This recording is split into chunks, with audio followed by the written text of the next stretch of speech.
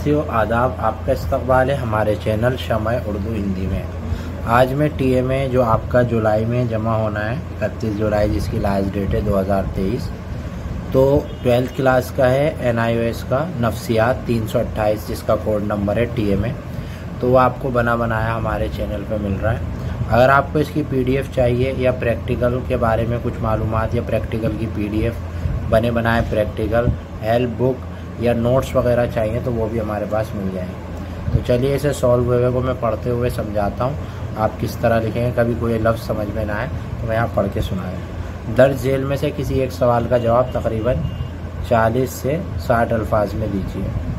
अब इसमें दो ऑप्शन होते हैं, दो में से कोई एक करना होता है। तो मैंने यहाँ पे अलिफ की जगह बा वाला किया।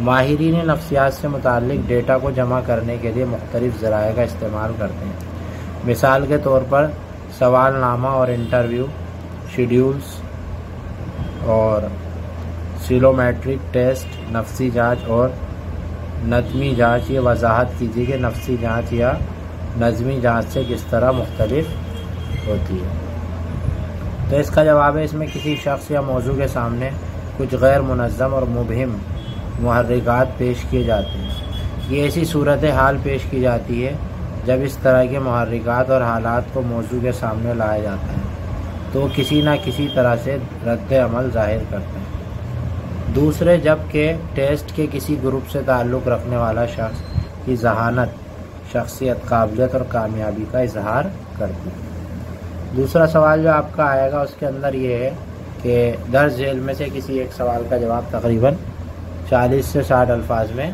दीजिए। इसका भी मैंने बा करा है। आपके दोस्त मरियम का ख्याल है कि उसकी याददाश्त बहुत अच्छी है, या वह अपनी याददाश्त की आजमाइश करना चाहती है। क़वत हाफजा की इन जाँचों के बारे में बताएँ, जिन्हें आप याददाश्त की आजमाइश के लिए इस्तेमाल करते हैं। तो इसका जवाब है, याददाश्त की पैमाइश के लिए मुख्तलिफ़ तस्वूर इस्तेमाल किए जाते हैं। सबसे पहले है सीखना। सीखना याददाश्त का पहला हिस्सा है। हम सबसे पहले वो सीखते हैं जो हम याद रखना चाहते हैं। या हमें उससे पहले सीखना है।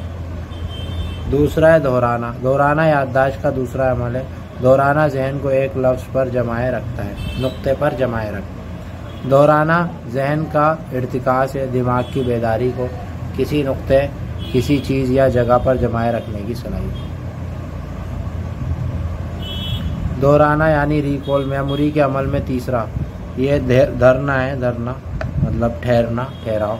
तीसरा है दोहराना रिकॉल मेमोरी के अमल में तीसरा उनसर रिकॉल है, जिसके नाम से ही ज़ाहिर है, इसमें अमल में तजुर्बात को मेमोरी टेबल पर वापस लाया जाता है। शनाख्त, चौथा है शनाख्त. लफ्ज़ शनाख्त की तकनीकी और फ़लसफियाना इस्तेमाल की तरफ़ तवज्जो मबजूर करता है।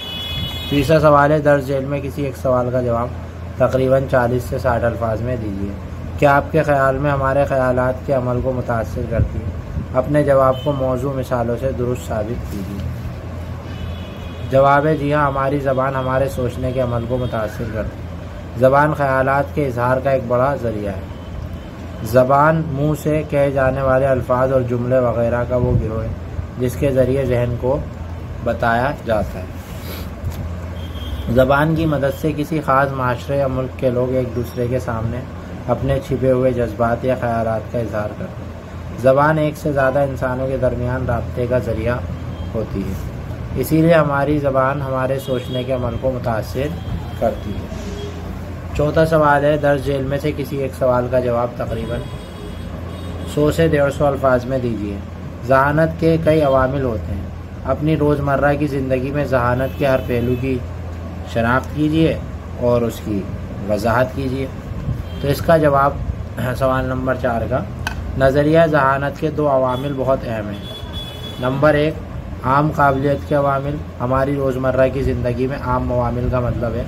ये तमाम अफराद में काम करने की मुश्तर सलाहियत लिहाजा हर शख्स किसी न किसी हद तक हर काम कर सकता है। ये काम सिर्फ़ उसकी अकल की तवज्जो वजह से होता मसलन आम अंसर की शक्ल में आम अंसर के शख्स तमाम जहनी और फ़िक्री सरगर्मियों में पाए जाते हैं। लेकिन ये मुख्तलिफ़ मकदारों में मकदारों में मौजूद होता है। इसके बाद है मखसूस काबिलियत के अवाम। हमारी रोज़मर्रा की ज़िंदगी में मखसूस अवामिल का मतलब